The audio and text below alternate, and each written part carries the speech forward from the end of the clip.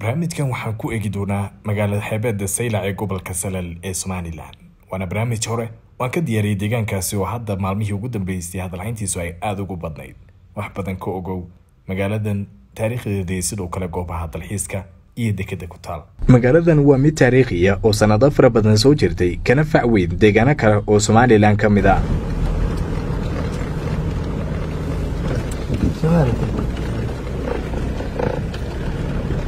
waa suuragal in mas'uuliyiin xilal kala duwan ka soo qabtay xukuumadihii somalilan arriminteeda u kala dambeeyey in marna aanay halkan socdaal ku iman si ay wax uga ogaadaan xaaladda dhabtee ka jirta waana ta sabab noqotay in deegaankan adeegyo badan oo ay baahi weyn bulshada ku dhaqani ay u qabaan haba yaraatee aanay ka helin mas'uuliyiintii u xilsaarnaa oo qaarkood xilka ka taga sannado fara badan oo ay joogaan iyagoo haba yaraatee aan arag saylac iyo deegaanada hoos yimaada waxaa markan iiga sheekaynaya taariikhda caanka ku tahay magaaladan faysal ibraahim cilmi oo ka mid ah odayaasha magaalada islamarhaantana sannado fara badan u soo joogay maraaxilkii ay soo martay. Waa taariikh aada u fog markaynu ka soo bilaabano wakhtiga hore waxaan iga soo bilaabay wakhtigii asxaabihii ay soo mareen halkan ay ku socdeen etoobiya ardulxabuush diintu ay fidaysay.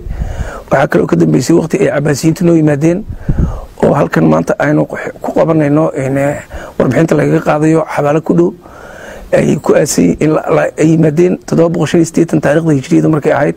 Xabaalahan waxaa la yidhaha shalaambila xabaal wadareed baa loo sameeyey shan boqol oo qof oo cabaasiyiina oo reer ciraaqa ayaa lagu dilay halkan. Waxaana ku dilay soomaalidii marka halka joogtay oon fahamsanayn waqtigaa diintu waxay tahay. Dadkaasi iminka berbere way degan yihiin jabuuti way degan yihiin muqdisho way degan yihiin shariifaan baa la cadcadaayeen marka dambe sii madoobaadeen soomaali sheekhaal shariifaan baa dhirana laakiin waxay ahaayeen cabaasiyiin dhowr jeer baa la gurguuray laakiin eeriyadeeda kama fogaa meesha ugu badan laga soo guuray waxay noo jirtaa imika ilaa labaatan kilomitr oo saylacdii hore. Ah ayay noo jirtaa imika. Waa halkan magaalada looga baxo oo way ku taallaa meelihii meelihii laga guuro laga soo guuray. Sababta loo soo guurna waxay duufaano dhacay awgood ayaa badda looga guuri ahayd. Waktigii dambena meeshan marsay ahayd waa lagu soo noqday. East africa o dhan bay masra u ahayd meel dekadee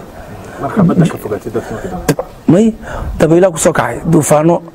Markaa way ka guureen xaggaa buurtay dabada geliyeen. Kabacdi way ka maarsami waayeen markii labaad haddana way ku soo noqdeen.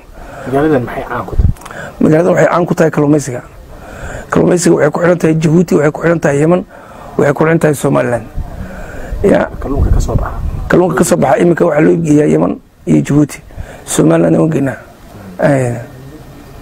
marka waxaan u baahannahay maadaama magaalada loo degey magaalooyinka qaarba waxbaa loo degey toqosho kale waxaa loo degay milixda. Magaaladan waxaa loo degay marso dekad dekadeedu marka dekad la samaynayo dekad ilaahiye ayaa jirta oo marse la yidhaahdo marka in laga faa'iistaa qurux badan. Marka annagu laba dekood baa raa naga xiga tu jabuutiya iyo tu somaliland oo berberaa anagu ma diidanin inay laba waaweyn labaduba yihiin. Laakiin waxaa qurux badan. Markay ugu yartaa baldekad bort fiishade in loo sameeyo. Waxaa hadda noo bilaabmaya socdaal kale oo aan ku tegi doono jasiiradaha caanka gobolkani ku yahay ee sacadadiin iyo ceebaad halkani waa marsada saylac waana goobta uu ku soo xidhay laashka aanu raaci doono. Waa markii iigu horraysay ee hadda aan socdaal ku imaado magaalada saylac iyo sidoo kale jasiiradahan ay caanka ku tahay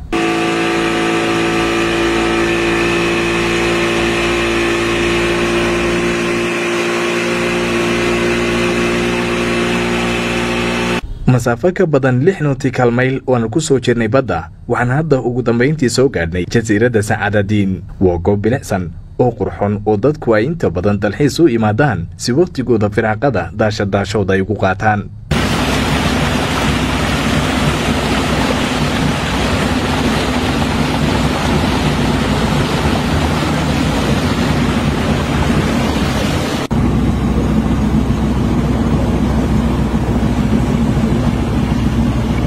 waxaannu ku soo wareegnay qaybaha kala duwan ee jasiiradda. Waxaa si weyn ii soo jiitay biyahan iyo sidoo kale goobtan cagaaran ee dhirtu ay si weyn u qarisay ee si yaroo fudud doonyuhu ay u dhex mushaaxayaan. Dalxiisayaal iyo doonyo kale ayaa halkan ku sugan oo laftarkoodu dalxiis iyo daashadaashood markan ku qaadanaya. Cabdiraxiim baa magacayga soo dhowo faysalow markan waa markii igu horreysay aan imaado jasiirad sacaadin waan ku faraxsanahay.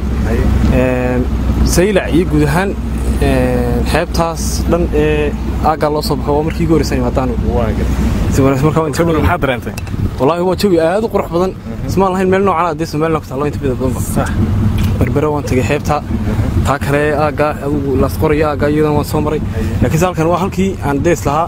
Meel lamidoo kale maan arag aaggan anuu hargeysaan ka imaha. Jasiiradaha kale amba dhulka kale aad tagtay waxyaabay ku soo jiitay maxay kaga duwanaysata dee waxay kaga duwantay geedkan iminka. Magaciisii ma sii xasuusto. Geedkan aadka u qurux badan le iyo meeshan jawigeedan yar ee aan ku dhibayn bay kaga duwantay aadka u qurux badan.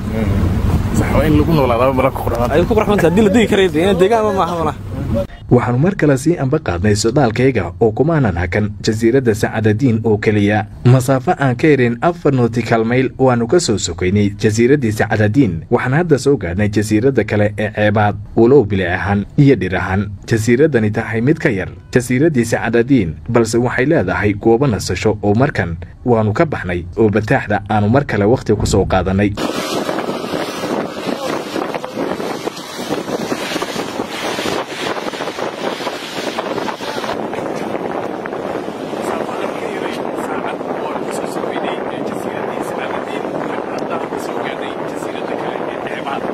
goobahan waa kuwo bilicsan. Dhallinyaro fara badanna ay si weyn u danaynayaan balse markan ma jirin goobo diyaarsan oo wax laga cuno amba lagu nasto si loogu soo hirto